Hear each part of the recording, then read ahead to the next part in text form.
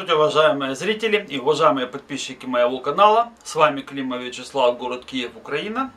Я рад вас снова видеть у меня в гостях.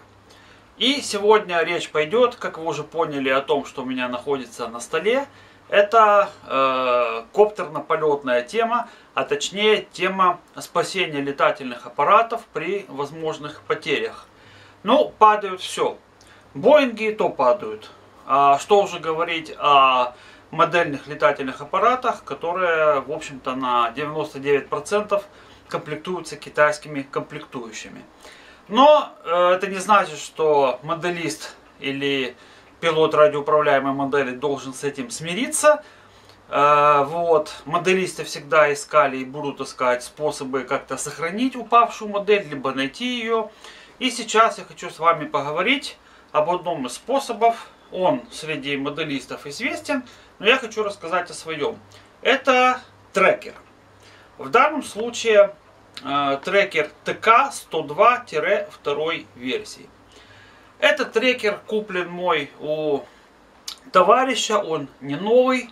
И сейчас я в двух словах хочу вам рассказать о э, трекерах в принципе, то есть, собственно говоря, что это такое и зачем это едят, кто не знает, кто только начинает э, летать. Э, ну и потом мы более внимательно посмотрим на именно вот этот трекер.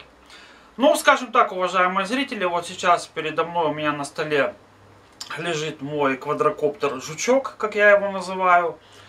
Э, средняя стоимость обычного летательного аппарата среднего класса со средней начинкой, это в среднем, ну, грубо говоря, полторы-две тысячи долларов. То есть это еще без всяких наворотов. Если там какие-то навороты, то есть мозги посерьезнее, либо там моторы дорогие, то это будет еще выше. Ну, а допустим, если это гекса, гексакоптер или октокоптер, там, э, ну, DJI там 900, 1000, либо 9, на базе 960 торота, ну, меньше, допустим, система для съемки меньше 5000 в среднем долларов не получается. Ну и когда вот это вот все счастье в виде 2-5 тысяч долларов значит, бухается об землю, соответственно, ну, моделист получает что-то близкое к инфаркту, не дай бог, конечно. Ну, либо, как называют, fly away, то есть улетает куда-то, мозги сходят с ума, еще что-то, и коптер, как мы говорим, полетел в Китай. Хочется его найти, правда хочется. И в этом случае один из способов найти пропавшую модель это GPS-трекер. То есть, грубо говоря, что это такое? Это э, маленькая коробочка, которая принимает сигнал со спутников, в которую вставлена сим-карта, и вы звоните на этот номер, который на сим-карту, которая вставлена в GPS-трекер, и алгоритм э, мозгов вот этого GPS-трекера вам обратно смс-сообщением сбрасывает текущие координаты вашего летательного аппарата. То есть упростим задачу. Если с летательным аппаратом что-то случилось, он упал, либо он улетел, ну рано или поздно он где-то приземлится, да, по логике вещей там. Это понятно, батарейки кончатся. Значит, моделист делает звонок на трекер, трекер в ответ присылает ему сообщение с географическими координатами э, пропавшей модели. И моделист вбивает их э, в любое устройство, там в планшет, э, в GPS как бы модуль туристический и э, идет по э, GPS модулю по координатам там, где лежит модель. То есть, если как бы коротко, система выглядит следующим образом. Тут есть тоже определенные нюансы о этих GPS-трекерах. Ну так, в процессе я коротко о них расскажу, потому что в любом случае выбор GPS-трекера будет за вами. Ну а теперь, уважаемые зрители, давайте мы более внимательно и подробно рассмотрим конкретно вот эту модель. GPS-трекер ТК-102-2 версии. Итак, уважаемые зрители, представляю вам трекер ТК-102 второй версии. Этот трекер не совсем свежий, ему уже э, год или больше выпуска, но им активно пользуются, и поэтому я хочу рассказать о нем чуть подробнее.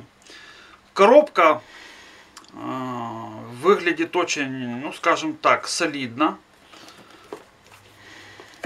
То есть так, недешево, нормально. Она такая аккуратненькая коробочка. Значит, вот сам трекер. Я, конечно, уже раскрывал ее, эту коробку. Э, ну, чтобы вы имели представление, вот, допустим, как именно этот экземпляр выглядит.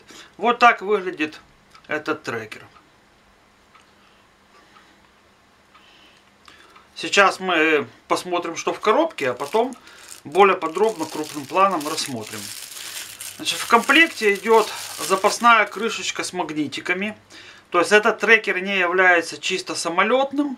Он скорее такой э, универсальный, но его моделисты активно используют э, для полетов. Значит, крышечка это тяжелая, потому что из-за магнитов. Магниты, кстати, я пробовал очень крепкие. К металлу, к машине цепляются на ура. Значит, дальше в комплекте идет вот такое э, зарядное устройство с кабелем. Э, сразу хочу сказать, что вот эта сторона, которая втыкается в трекер, она такая хитрая, не мини-USB, не микро-USB, поэтому вот этот кабель желательно не терять зарядное устройство. Значит, дальше э, идет такой водонепроницаемый чехол с залипкой специальной такой она ездит и с э, такой ручкой для переноски что ли тоже в общем-то полезная вещь значит дальше идет ПО диск с ПО и э, дальше идет как бы инструкция в сети есть очень много инструкций на русском языке. Это сейчас не проблема, поэтому вы можете скачать. Инструкции понятные, интуитивно и простые.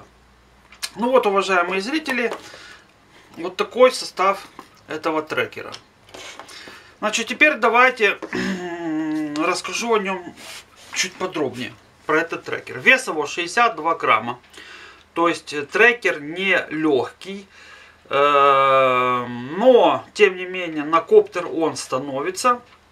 Кстати, давайте сейчас я покажу, как именно он становится на коптер на мой. Сейчас мы уберем. И давайте возьмем коптер. Вот батарея. И э, трекер я обычно, когда летаю на коптере, я просто кладу под двойные застежки и, соответственно, затягиваю липучки сверху батарейки. Вот так трекер как бы лежит. И, ну, скажем так, я не ощутил, что как-то эти 62 грамма повлияли на полетное время моего коптера. То есть э, меньше, явно меньше не стало. Теперь давайте посмотрим, э, что внутри. Трекер открывается вот так. Есть такая защелка здесь. Снимается крышечка. И внутри вы видите сейчас э, два слота. Первый слот под карту памяти. У меня в данном случае стоит UMC, потому что у меня основной телефон UMC. Вот. И тариф просто супер. По тарифу. Значит, если вы будете выбирать тариф, выбирайте тариф с максимальным количеством смс. Потому что трекеры очень активно используют смс. В моем случае МТС это просто супер 1 для Киева. Идет 100 смс бесплатных в день, ну и потом по 75 копеек каждая. Активация 1 гривну. То есть, грубо говоря, за гривну в день я получаю 100 бесплатных смс, это более чем достаточно. И идет слот для карты памяти. Карта памяти сюда идет э, microSD до 2 гигабайт. У меня стоит 1 гигабайт, и я считаю, что ну, этого более чем достаточно. Значит, батарейка идет сюда обычная от мобильного телефона. Ну, о ней нечего рассказывать, батарейка как батарейка. Хватает в непрерывном работе до э, полутора дней. Вот. Но опять же, тут тоже есть нюансы, смотря с чем сравнивать. Для полетов на самолете я сделал вот такое ну, колхозную, скажем так, приспособление с мягкой ткани. Трекер вот сюда вот так кладется и сверху обвязывается поперек и вдоль обычными денежными резинками. Для чего? Дело в том, что при ударе, как правило, крышечка, несмотря на вот эту защелку, она отлетает. Отлетает крышка, соответственно, вылетает батарея, ну и, соответственно, вы не можете дозвониться, то есть вся функциональность трекера пропала. Поэтому, если вы трекер ТК-102-2 версии используете просто вот так в голом варианте, то обязательно нужно либо обкладывать скотчем вокруг, либо каким-то другим способом фиксировать вот эту крышку. Иначе при ударе крышка отлетает. А удар и падение, в принципе, идут в 90% случаев. Собственно говоря, для этих вещей этот трекер и нужен. Поэтому надо стараться беречь его от ударов. Прежде чем купить этот трекер, я достаточно много э, почитал, ну, в частности на российском форуме RC Design, там много информации про этот трекер. Люди, кто понимает в радиоделе, ну скажем так, убирают вот эту корпус, потому что он весит достаточно много. Э, делают из этого трекера просто плату. Ну, я в этом деле не понимаю. И, честно говоря, для моего ская этот вес, собственно говоря, вообще не заметен, что он есть, что его нету. Поэтому я ничего не стал трогать. Теперь э, давайте пройдемся кратенько по особенностям этого трекера. Значит, вот с этой стороны есть две кнопки. Первая кнопка включенная-выключенная. И вторая кнопка, это кнопка SOS.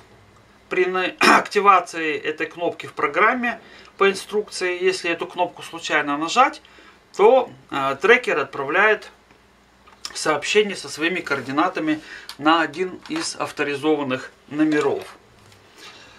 Вот. Э, по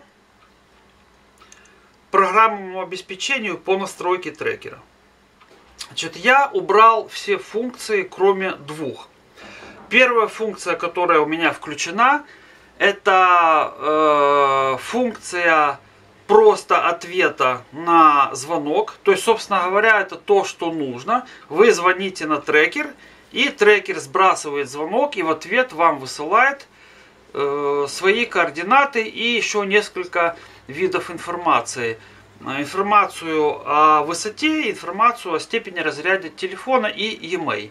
Из этого всего ну, можно смело ни на что не обращать внимания, кроме географических координат. И э, вторую функцию, которую я активировал по инструкции, это 30-секундная запись на карту памяти своего положения. То есть это не требует смс. То есть коптер, о, извините, трекер это делает ну, фактически бесплатно. Но фишка в чем? Э, что вот сейчас на экране появится э, образец. Э, можно потом прийти и с помощью программы GPS Visualizer э, сделать э, ну, например, вот такой трек, где вы находились, и там, где летал летательный аппарат, либо где вы ехали. Я поставил запись на карту памяти каждые 30 секунд. Это вполне достаточно, чтобы коптер, э, чтобы, извините еще раз, трекер записал э, весь ваш путь. То есть вот эти две функции, которые я активировал. И еще я не активировал э, свой номер, там можно инициализировать номер. Почему? Потому что в этом случае, ну, если номер инициализируется или несколько номеров, то трекер не будет отвечать на звонки с другого номера.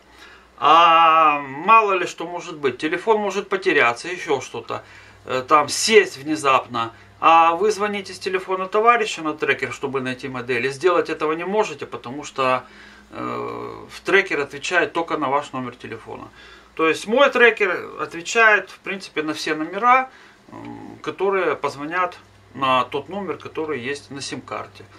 Ну, я считаю это нормально, потому что я так думаю, что вы не будете давать свой номер сим-карты как бы всем окружающим. Поэтому смело можно оставаться. Э, вот, уважаемые зрители, если коротко про этот трекер ТК-102. Ну, теперь, э, если вы выбираете себе трекер для полетов, в двух словах по поводу выбора. Сейчас есть уже модель ТК-103, э, есть более легкие модели, более маленькие модели, более дешевые модели. Э, я хочу вам хочу вас просто предупредить, чтобы вы были аккуратны. Дело в том, что много подделок то есть вместо GPS трекера продают э, трекеры без GPS модуля, которые ловят сигнал только от вышек. Это никуда не годится, потому что модель может упасть э, в зоне, где вышки нет, и в итоге, ну, собственно говоря, вы просто ее не найдете. Какую модель сейчас выбрать на 2015 год, ну, выбирайте сами. Только смотрите, что там был обязательно GPS модуль. Э, клоны вот этой достаточно популярного трекера достаточно много, клоны работают, ну, насколько я понял, это как повезет. То есть вы можете купить этот клон, будет работать, может и не будет работать, надо будет подпаивать, перепаивать и так далее.